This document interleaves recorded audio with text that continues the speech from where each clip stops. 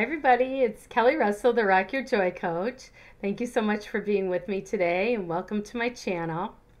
So, my topic for this week is looking at our addiction to guilt and blame. And literally, really thinking about it like it is a, a drug or alcohol, a substance that we're addicted to, or a behavior, a behavioral pattern that we are addicted to. And if we look at, you know, those kinds of addictions that show up in our lives in the world as being something that we are doing to medicate ourselves, right? Something that we are doing to try and reduce pain that we feel in some way.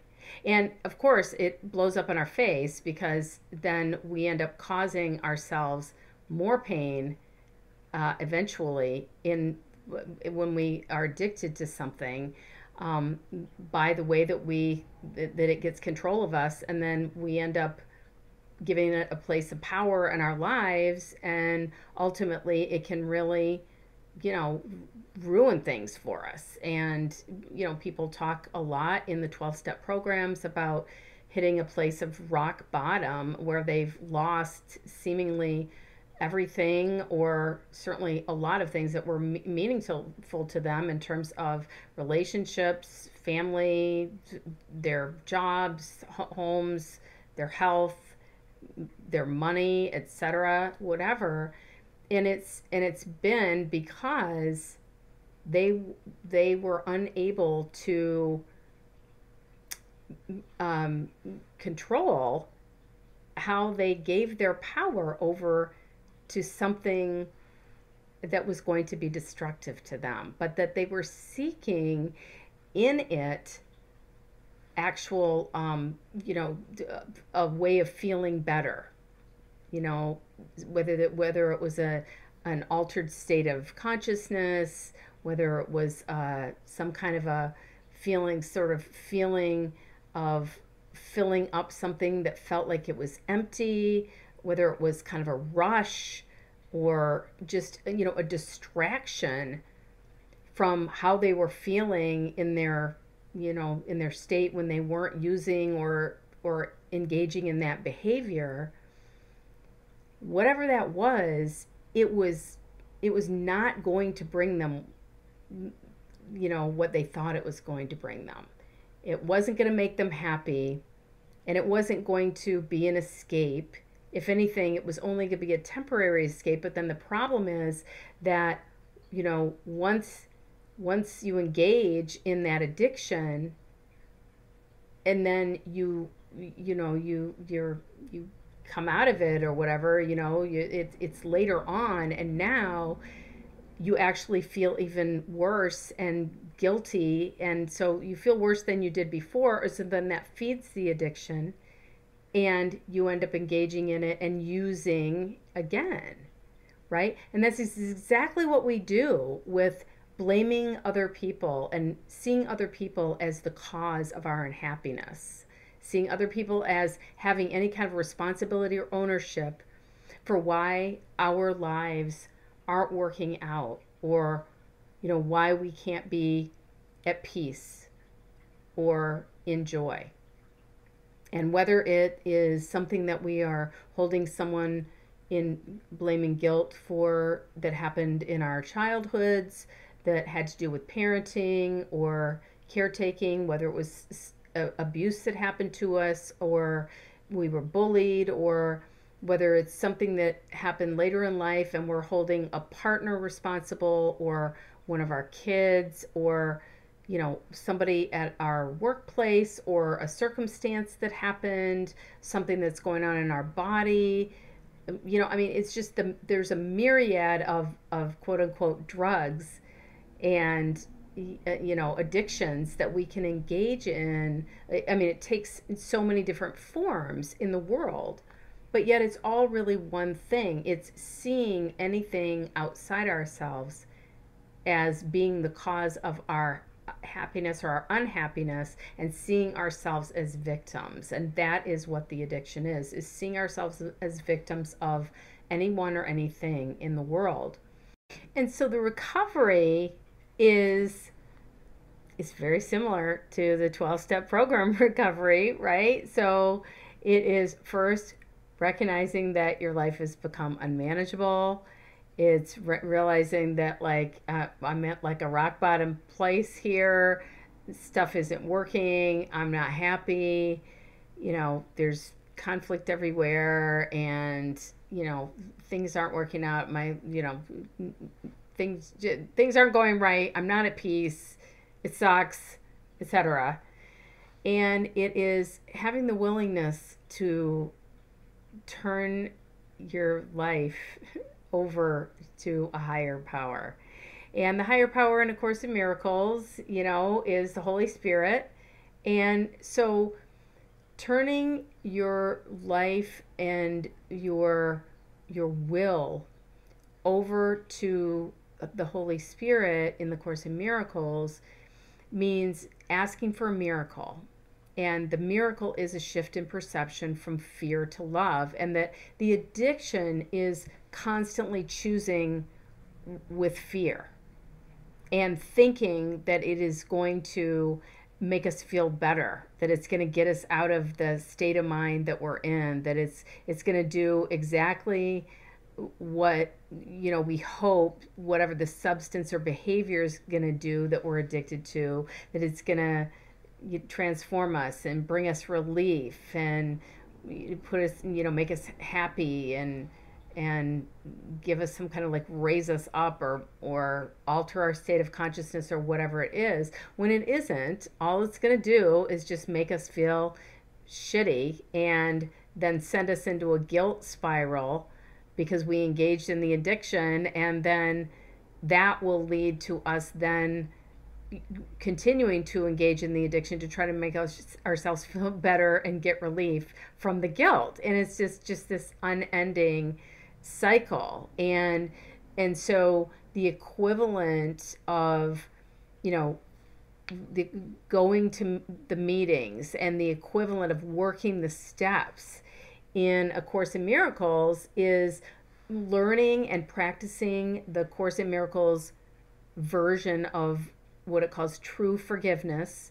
And true forgiveness is saying, you know, I forgive you, and then fill in the blank of whatever, you know, whatever drug of choice, whatever form your addiction is taking of whoever and whatever it, you think is to blame for this particular you know, time of your unhappiness, saying, I forgive you because there's nothing to forgive. I remember that I am dreaming an illusion here. I remember that I'm making this up with my ego mind, and I I'm making the decision to for to, that I don't want to keep doing this. I'm making the decision to to ask to have my mind change to see this differently. I'm forgiving myself for making up this you know this false idea in the first place for for being in this dream. And I ask spirit to take this from me. I surrender it to spirit and ask to be healed. That is that's that's the miracle. And there aren't 12 steps to it. In a course in miracles there's literally one well there are literally four steps in that process that i just went through. And it's literally it is making the decision to give it over to spirit to ask for the miracle to practice forgiveness and then to release it. And and so you know what happens in, in in we're doing an intervention on ourselves when that happens. You know that is what we are doing. We're intervening. We're intervening and saying, just like we do with people that we love that are experiencing an addiction, to say, I love you so much. I care about you so much. I want you to be happy and I want you to have a great life. And, but what you're doing here, what you are willingly engaging in, is is impacting me and I don't want to keep participating in it. And so that's why I am I'm writing this this love letter to you. That's why I'm participating in this in this intervention is I I know there's something better for you and I'm letting you know that as much as I love you, I don't want to keep doing this with you. I want to keep engaging in this in the way that it is. And so we do that intervention and we we turn our will over to that higher power, the Holy Spirit, and we we start you know going to the meetings. We we have our and when, when i say going to meetings i'm literally saying the meeting the meeting is between us and that elder brother and guide, guide and way shower um, jesus from a course in miracles who is who who helps us to see things differently helps us to reframe th- things for us brings us the miracle. But we do have to ask you know just like you know we, we jesus is not going to interfere. Holy spirit is not going to interfere with our life and hijack us and force us to confront our addiction and engage in recovery. Just any more than it would be cool for anyone in our lives to force us to go to a 12 step meeting you know, or force us to go to a rehab. I mean, I know that that is sometimes what happens with people, but unless the person is really in a place where they are willing to see that they are causing the problem themselves, that it isn't someone outside of themselves um, that's, you know, that's making them unhappy and making them have to use a substance or engage in a behavior in order to be happy. You know, when somebody's gonna it throws you in their car and make takes you to a meeting or takes you to a rehab or you know does something like that if it's not your will that's making the decision it oftentimes it won't stick. So spirit isn't gonna throw us in the back of the car and take us to forgiveness and make us practice it. But when he hears us saying I'm ready. I want to do a bet. I want to have a better way. I want to see this differently. I, I want the miracle. I'm asking for it. What I'm doing isn't working. This is my rock bottom. I'm ready. Um, no matter how many times we say it, he's there with the answer and he's going to help us to shift that perception from fear to love. And and when we do, you know, when we do pursue that addiction and we do engage in that behavior of blaming and judging and criticizing and holding someone else in in guilt in, as to why we are unhappy and why we can't have the life we want. And we're seeing that as as the reasonable answer.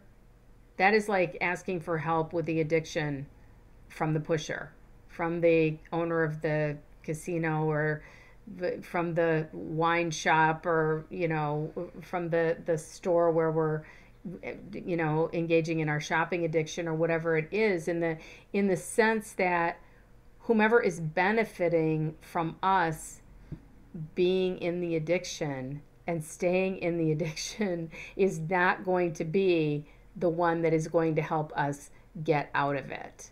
And so you know asking for the answer from the higher power. The, the higher power is the higher power for a reason. It, it's not because it's in control of us, it's because it actually knows what uh, the best thing is for us. It's coming from a place of love, it's coming from a place of healing and a place of, of true true recovery right and so it's it's the course in miracles that's the answer to this addiction to guilt and blame and holding others in a place of ownership and responsibility for our unhappiness so that is my message for you today. If you are finding yourself in a place where you think that anyone or anything or any situation is responsible for why you aren't having the life you want or why you're not living the happy dream or you know, experiencing love and peace and joy, then you're addicted and it's time to go to recovery. So, if you like this video, please share it. If you haven't subscribed to my channel yet, uh, please click the link below and subscribe. I'm here every week talking about the practical application of A Course in Miracles. And if you'd like to hear more on the subject of forgiveness and how what a miracle it can be in your life and how its application can change every aspect of your experience. There are a couple of free programs that you can um, download that to which there are links below as well. And if this is something that you notice in your life that is a theme for you, that you are addicted to blaming other people and holding them in in guilt into why you can't be happy or have the life you want, you also may consider booking a discovery call for me, which is free. It is a coaching session in which we address what what's happening in your life and uh, in order to see whether coaching with me, one-on-one coaching, could be something that would be a solution for you. So you can check that out as well. And thanks again for joining me. I'll see you next week. I love you. Mm-hmm.